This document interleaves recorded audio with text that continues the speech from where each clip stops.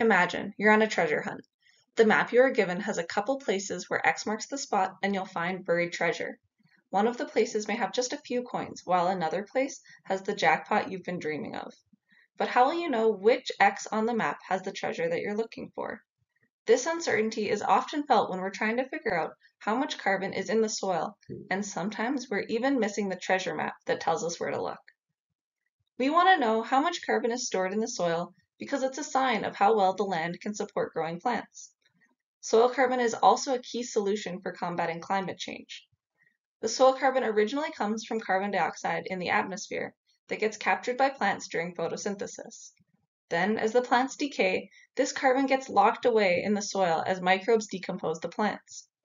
However, when soil is used too intensively, the soil carbon can decrease and it takes a long time to build it back up.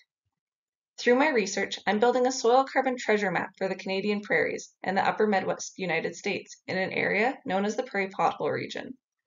This area features a unique type of wetland, known as prairie potholes or sloughs, that were formed after the last glaciers retreated over 10,000 years ago. These aren't the potholes that you accidentally hit on the road when you're driving to work. But like a pothole in the road, prairie pothole wetlands hold water on the landscape, and this moisture helps accumulate soil carbon over time.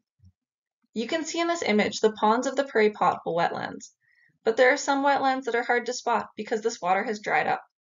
The carbon is still locked away in these wetlands that seem invisible to us standing on the ground. To help spot wetlands, I use satellite imagery that shows ponds over the past seven years. Then I go out to the field and take soil cores from the wetlands as shown here. At the top of the core, we see a dark colored soil, and this dark color tells us that there's a lot of soil carbon there. As we move lower through the core, the color gradually gets lighter, and there's less soil carbon there. The soil color changes back to dark again though, at about 53 centimeters, and this is because carbon got trapped away here a long time ago. This soil carbon that we see deep in the soil is the treasure that makes prairie pothole wetlands so important for storing carbon. This carbon would otherwise be carbon dioxide in the atmosphere if it wasn't locked away in the soil.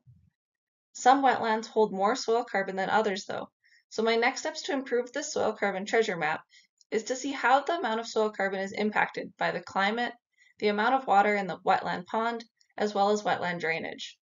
By digging deeper into our understanding of soil carbon in prairie pothole wetlands, we can prioritize which wetlands should be protected to preserve the soil carbon and maintain the ecosystem services that wetlands provide. Thank you.